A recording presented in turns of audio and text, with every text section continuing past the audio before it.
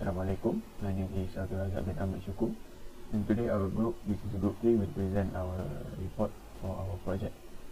So, uh, inverter is referred to a power electronic device that is to convert the power from DC into AC form. So, the most common type is the half bridge inverter. Half bridge inverter on the output.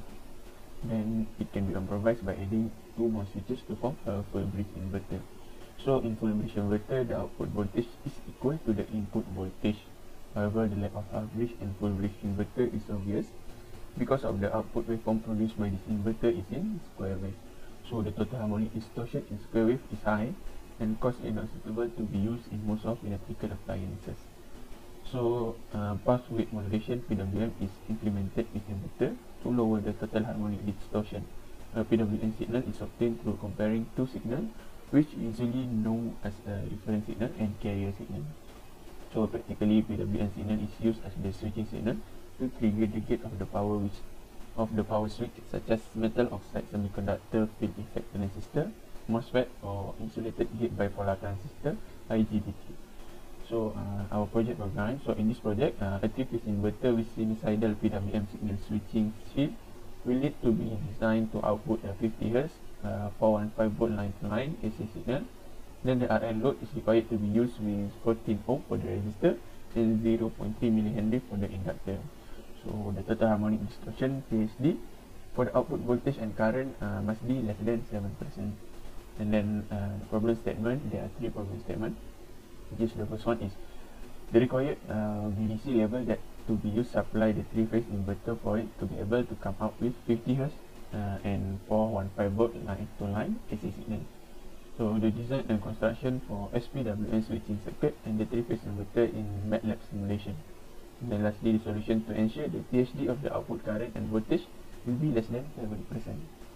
And then project objective. So there are three main objectives for our project. Is first one is to design and construct a three-phase inverter for RL load using MATLAB Simulink.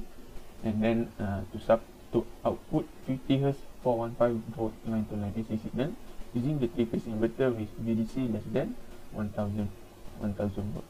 So the next one will be presented by Tommy. So that's all. Thank you. Hello, my name is of Ravi. My metric number is DE200111 and today I'm going to present uh, our group assignment for methodology. So for the methodology, uh, this is the overview of project planning. So from the start to the calculation for parameter of uh, what you call uh, sine pulse uh, width modulation switching. And then next to the construct SPWM switching circuit and then uh, run simulation. If yes means the calculation for parameter of three-phase inverter will uh, occur. If no means uh, the redesign of uh, SPWM switching circuit will happen. And then it's back to the calculation for parameter. And then if yes means the it will continue for calculation for parameter of three-phase inverter and then move to the construct three-phase inverter in MATLAB. And then move to the run estimation again. And yes means it will generate output signal uh, waveform. No means you uh, need to redesign three-phase inverter circuit and then it will back to the uh, calculation. And then uh, after the generate generation of output signal waveform it will uh, we can observe the THD percentage and then uh, the THD uh, percentage must be less than 7%. If no means, it will back to the, the redesign of three-phase inverter circuit. So VS means uh, the, the what you call the stimulation is and so this is the methodology flowchart of our project group assignment. And then okay, the project begins with the calculation of uh, sine pulse uh, width modulation switching to determine the parameter which is a frequency and amplitude value uh, to be set for the carrier and a reference signal. So after that, we need to construct uh, the construction of uh, SPWM switching circuit begin after all the value had been determined. And then after after that, the simulation will be run and the switching signal will be checked whether it is able to output the relevant switching signal. If the switching signal is not the same as the required, the switch uh, circuit need to be reconstructed. So that means we need to redesign the circuit.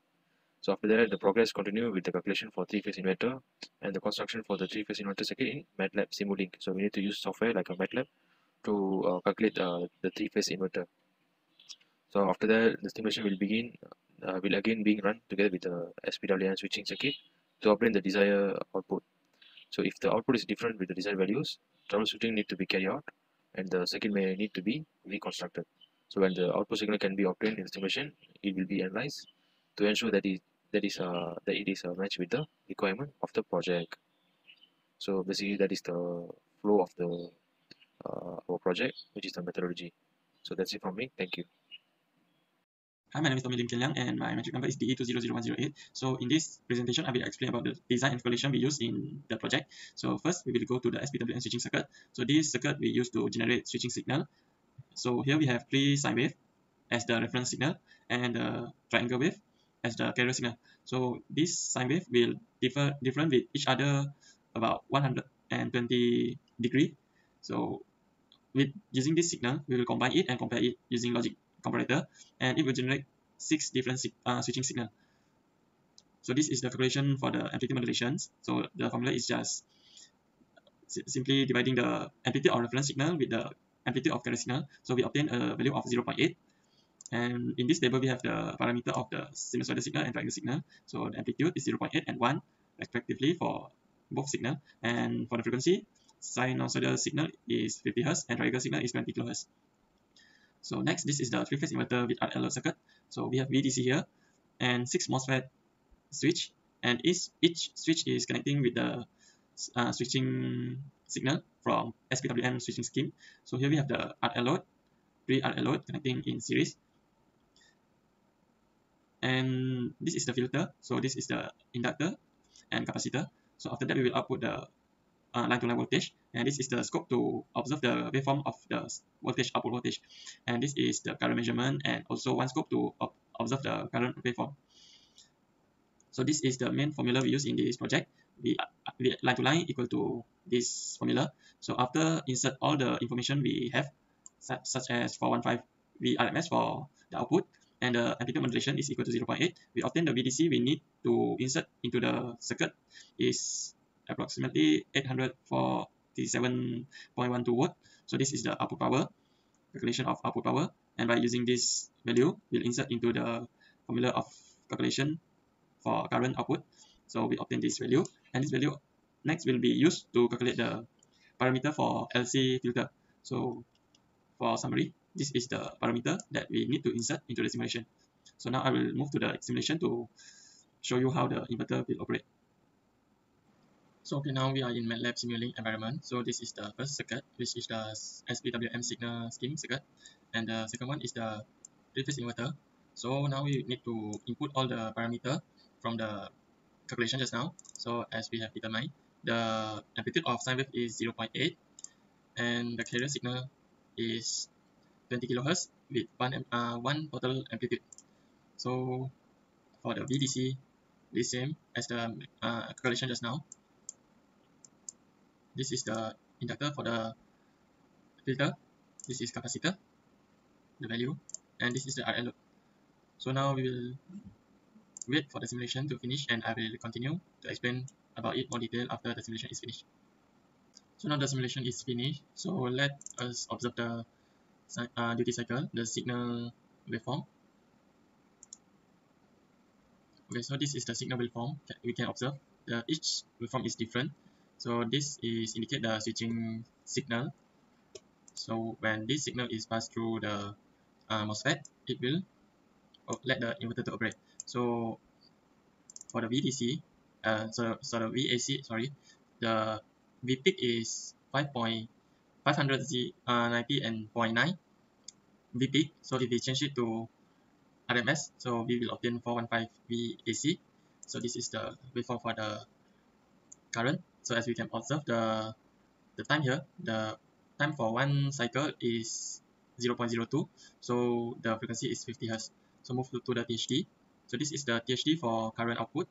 So the THD percentage is 2.23, and we need to obtain the THD for voltage so this is the voltage for uh, uh, THD for voltage 0.47 percent Hi and Assalamualaikum. My name is Muhammad Ashif Nasr. So this is the last part of our project which is conclusion. As for the conclusion, construction of three-phase inverter circuit and simulation MATLAB provide a clear picture of the operation in inverter output AC signal and from DC signal compared to the theoretical knowledge. Through the simulation, operating sequence inverter can be observed by step from generation of SWPM switching signal until output sinusoidal wave of voltage. Besides, by applying the theoretical knowledge and formula regarding the inverter, the understanding toward the knowledge has increased. After completed design three-phase inverter with SWPM switch scheme, as results show, inverter convert a total 847.12 VDC into 1.5 VAC with percentage total harmonic distortion less than 7%. Besides the SWPM switching circuit, also it will affect amplitude of the output parameters such as voltage and current. Therefore, varies the amplitude of reference signal which is sinusoidal. The output can be increased or decreased in certain range, but if the change of amplitude as sinusoidal is too large, it may cause the percentage of the, output increase. Lastly, through the conducted simulation, also provided us to learn the different type of inverter, which type inverter will have their own advantage and disadvantage to be used in various applications based on their characteristic. Thank you and Assalamualaikum.